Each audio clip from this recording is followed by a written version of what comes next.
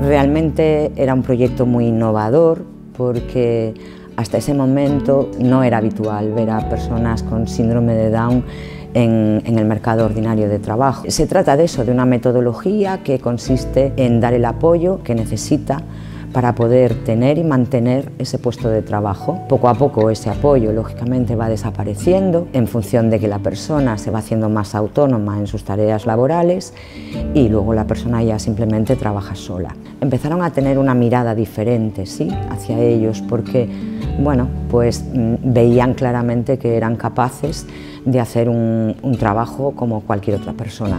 Fue importante para sacar oposiciones y plazas reservadas para las personas con discapacidad intelectual. Realmente pienso que fue lo importante, ¿no? la visibilidad de personas que llevaban de alguna manera invisibles, siendo invisibles durante décadas y, el cambio de mirada que la sociedad empezó a tener con ellos y con ellas.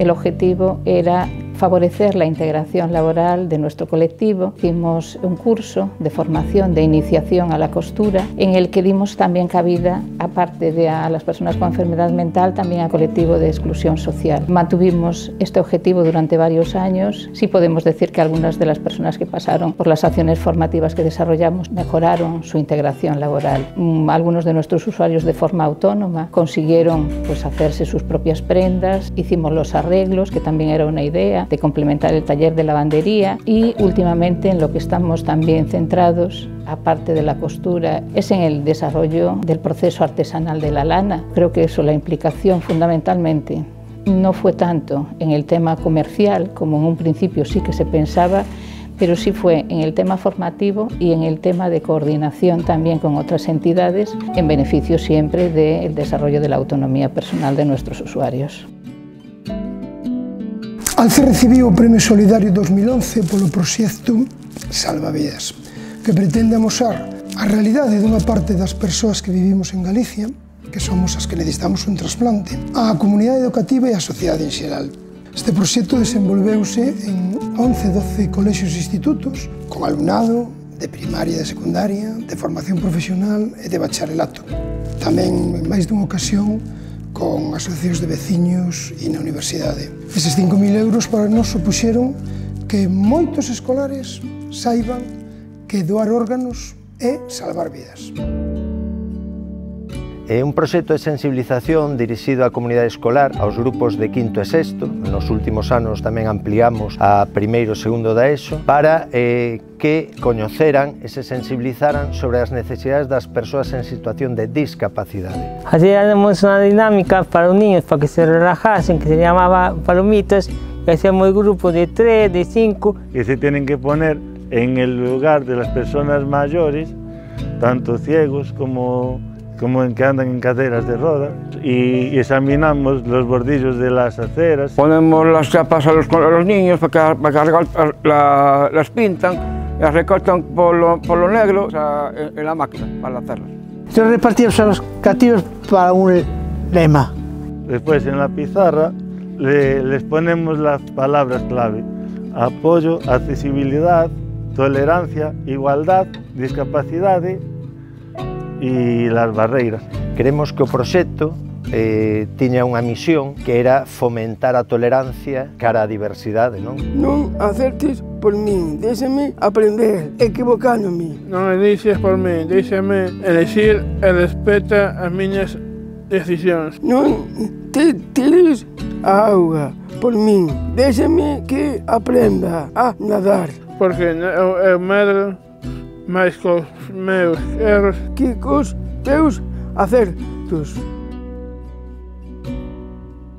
Veciños, un paso adiante, pretendía ser una, un proxecto transformador, concienciador, donde se trabajase la actividad psicomotriz de forma igualitaria. Participaron más de 1.700 eh, alumnos de primaria de los de centros educativos de Ferrol También participaron en el concurso creativo de dibujo, eh, bueno, manualidades, donde los niños pudieran expresar también eh, el valor de la inclusión. Entonces, bueno, creo que el impacto que, que hemos tenido ha sido muy alto y creo que ha transformado la visión y la sensibilización de muchos pequeños ahora ya pues siete años más mayores eh, con esa visión más inclusiva, integradora y normalizada. Veíamos que la gente no tenía un sitio donde ir, cuando salían de otros centros sociales. Entonces mm, montamos esto con lo que es unas mesas para que pudieran jugar a las cartas, tomar café, charlar unos con otros. Eh, dábamos talleres, cada uno de lo que sabía hacer se lo explicaba al otro. Entonces, saber la autoestima te sube un poco. E intentamos que siempre fuesen nuestra familia para nosotros. Soy, soy una de las más antiguas que estoy aquí en Arraigo. Me dedico a, esta, a hacer los carros, a, el voluntariado con ellas, a tomar café, conocer a gente aquí, estamos todos muy a gusto, pasamos el rato conociendo gente. Les vamos informando de todo lo que hay, si hay fruta, si hay alimentos, si hay ropas. Y estamos aquí, nos, aquí nos dan, nos dan la merienda, nos dan el café y estamos muy bien. Y después, claro, ellas nos ayudan, nos, nos dan el reparto, nos ayudan todo lo que pueden, las pobres también tuvo muchísima trascendencia el ganarlo porque vimos que muchísima gente empezó a conocer a Raigo, a ver lo que hacíamos, a querer venir de voluntario, a involucrarse como socio. Gracias. Este proyecto consistía en proporcionar a las personas con un trastorno del espectro del autismo un acercamiento al mundo laboral a través de trabajos administrativos. Cinco personas que acuden a este servicio realizaron prácticas en diferentes empresas de la comarca, como por ejemplo la cooperativa de Meirás. Vimos que era fundamental eh, abrirnos a otros ámbitos laborales, basándonos en las preferencias y en los intereses de las personas que acudían al servicio. En esas prácticas pues, tenía un, un apoyo de, de, un preparador cogiendo información y al fin de ellas me hicieron un, un contrato de dos meses para la campaña de verano. Actualmente, hasta la fecha de hoy, 11 personas han realizado diferentes prácticas laborales en empresas de la comarca, que han finalizado con tres contrataciones y también hemos trabajado sobre el empleo público. Estuve preparando una posición en Aspanais para una posición para el, para el acelerador del Sergas y aprobé con plaza y estoy trabajando con contrato fijo en el Hospital Arquitecto Marcidi. El fin del proyecto en sí es crear actitudes de tolerancia y de respeto dentro de la comunidad educativa y tratar de que las personas que vienen aquí a, a nuestra entidad que, pues, que aprovechen lo máximo posible dentro de su etapa educativa. Los beneficiarios de este proyecto no son las personas que vienen aquí, sino todas aquellas personas que forman parte de su entorno en general, ¿vale? a los alumnos, a los compañeros que van con ellos a clase, a las familias, a las AMPAs. Otra de las finalidades del proyecto o de los contenidos es que sirva para mejorar a la hora de poner en práctica pues, metodologías que favorezcan más la participación y materiales que faciliten la accesibilidad a los contenidos. Si partimos de, de que hace unos años, no tantos, pues la mayoría de estos chicos apenas tenían presencia en las escuelas ordinarias, pues lo que intentamos desde aquí es un poco reducir y eliminar esas barreras que impiden que ellos participen en igualdad de oportunidades. Esos apoyos muchas veces se, se, centran en las dificultades que tienen ellos, cuando en realidad la dificultad la pone el entorno, no está en ellos. Dende o ano 2010, para Nacións Unidas, eh, o dereito á auga é un dereito humano. Non? Eh, a, a poboación saharaui do, do, a Marcha Verde do ano 75 eh, fuxen hacia a jamada Archelina, onde forman unha serie de campamentos de refugiados. Forman eh, catro vilallas. Destas catro, tres vilallas se eh, construen na zona de Rabuni, onde están os principales abastecementos de agua. Pero unha delas eh, se forma a 120 km, en Dagla. Eh, con este proxecto que se fixo foi eh, facer unha serie de pozos e abastecer as 15.000 persoas que forman ese, ese campamento a través de de grifos comunitarios donde eles van collendo a cantidade de agua que se necesita. Esta agua non necesita tratamento eh, especial, únicamente con cloración. Eh, isto que fixo foi que a saúde da xente mellorou moito, porque antes eh, se, era a través de depósitos de auga de acero inoxidable que se enchían unha vez ao mes e, e claro, coas diferencias de temperaturas que hai do día a noite durante tanto tempo, a auga creaba unha serie de problemas na. El proyecto era pues, una intervención socioeducativa para conseguir la inclusión y la promoción de la lengua de signos con las entidades educativas y entidades sociales. Eh, lo que nosotros apostamos desde la Sociedad de Personas Sordas de Ferrolterra es por fomentar la educación en lengua de signos para niños y niñas y también para eh, colectivos en situación de vulnerabilidad para favorecer la integración social y la educación en valores. Eh, en resumen, ha sido algo muy positivo, un éxito para mm, todas las personas.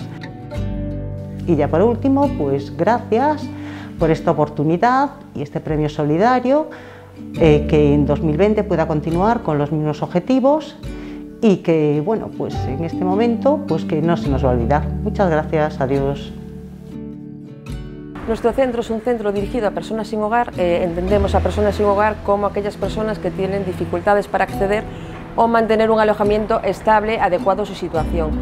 El objetivo principal de este centro es lograr la inserción sociolaboral de, de estas personas ofreciendo una atención integral desde un enfoque de derechos. Así, nuestro centro se configura como un lugar de encuentro, un lugar de interacción, un lugar donde generar vínculos, un lugar donde cubrir eh, necesidades básicas y un lugar donde iniciar un proceso de cambio acompañado. Todos estos servicios son eh, desarrollados por personal voluntario, que es un equipo humano muy valioso. Sin ellos no seríamos capaces de poder desarrollar toda esa actividad.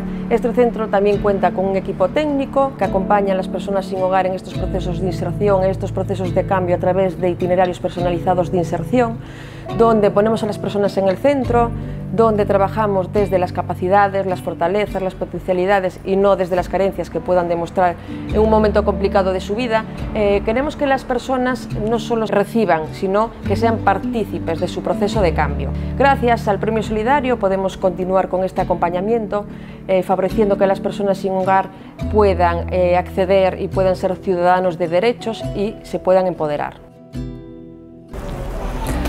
O compromiso e o traballo arreo dos colectivos máis vulnerables da nosa cidade pois fan eh, que merecedoras eh, da concesión deste galardón de Premio Solidario 2020 a todas as entidades sociais da nosa cidade.